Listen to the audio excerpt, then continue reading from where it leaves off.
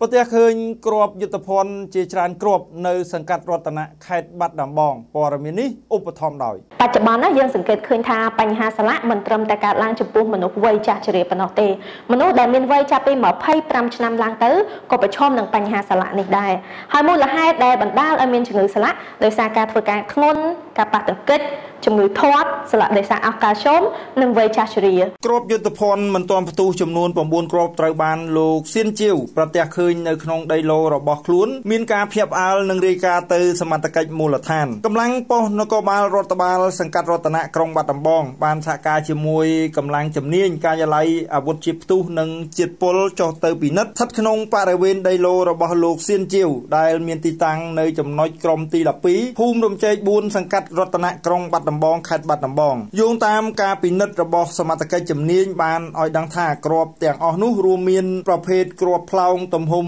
130មីលីម៉ែត្រចំនួន2គ្រាប់គ្រាប់កំភ្លើងត្បាល់ទំហំ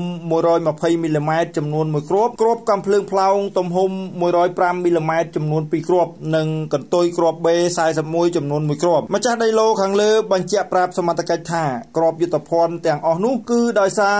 មកតាមឡានដឹកដីដែលខ្លួនទិញយកទៅចាក់បំពេញដីឡូដើម្បីឲ្យអតិថិជនមានការចាប់អារម្មណ៍បច្ចុប្បន្នគ្រាប់យុទ្ធភ័ណ្ឌមិនទាន់ផ្ទុះទាំងអស់ត្រូវបានសមត្ថកិច្ចប្រគល់ទៅអង្គភាពស៊ីម៉ាក់ពិនិត្យនិងយកទៅកំទេចចោលទៅតាមបច្ចេកទេសជ្រាបសួរនាងកញ្ញាជាទីស្រឡាញ់នាងខ្ញុំអែនណាមកពីសហគ្រាសវត្តមរំខ្មែរធម្មជាតិបច្ចុប្បន្នណាយើងសង្កេតឃើញថាបញ្ហាសាឡាក់មិនត្រឹមតែកើតឡើងចំពោះមនុស្សវ័យចាស់ជ្រាបប៉ុណ្ណោះទេមនុស្សដែលមានវ័យចាប់ពី25ឆ្នាំឡើងទៅក៏ប្រឈមនឹងបញ្ហាសាឡាក់នេះដែរហើយមូលហេតុដែលបណ្ដាលឲ្យមានជំងឺសាឡាក់ដោយសារការធ្វើការធ្ងន់ការប៉ះទង្គិចជំងឺធាត់សាឡាក់ដោយសារអស់កាល់ស្យូមនិងវ័យចាស់ជ្រា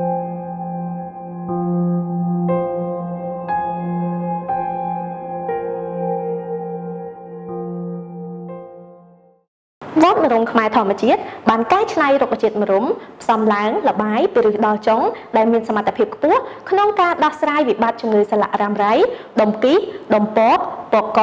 ឬដងបាត ម្រេញរបេងកូនកដុលសាច់ដោះក្នុងដៃស្បូនបានយ៉ាងឆាប់រហ័សហើយថ្ងៃនេះនាងខ្ញុំសូមលើកយកផលិតផលឈុតសរីរាង្គក្រៅយកមកជម្រាបជូនលោកអ្នកវត្តឈុតសរីរាង្គក្រៅមាន4មុខហើយមាន2ប្រភេទប្រភេទទី1គឺសូនទឹកឃ្មុំប្រភេទទី2គឺក្របសំប៉ែតវត្តឯកទេសស្លាកក្របសំប៉ែតផ្សំឡើងលបាយពីឬដល់ចុងនៃរុក្ខជាតិម្រុំល្អបំផុតសម្រាប់អ្នកមិនចង់ឡើងគីឡូហើយប្រភេទសូនទឹកឃ្មុំស័ក្តិសមបំផុតសម្រាប់អ្នកស្គមរីងរៃវត្តតែម្រុំអាចជួយលាងសម្អាតស្ករខ្លាញ់អាស៊ីតជាពុលនៅក្នុងរាងកាយលោកអ្នកវត្តត្រេងងខ្មៅមានសារធាតុប្រឆាំងអុកស៊ីតកម្មគឺជាសារធាតុដែលអាចកាត់បន្ថយការខូចខាតនៃកោសិកាដែលបណ្ដាលមកពីរ៉ាឌីកាសេរី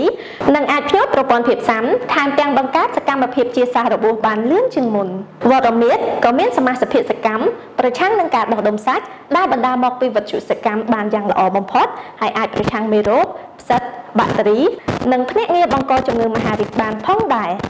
បើសិនជាលោកអ្នកកំពុងតែមានបញ្ហាដូចនាងខ្ញុំបានជម្រាបជូននៅក្នុងវីដេអូខាងលើនេះសូមកុំអស់សង្ឃឹមហើយតាក់ទងមកលេខទូរស័ព្ទទាំង3ប្រព័ន្ធនៅលើអេក្រង់នេះឬឆាតតាមប្រអប់សាររបស់ទំព័រ Facebook ភាសាខ្មែរវត្តរំខ្មែរធម្មជាតិភាសាអង់គ្លេស What Natural ខ្មែរ Moringa សូមអរគុណ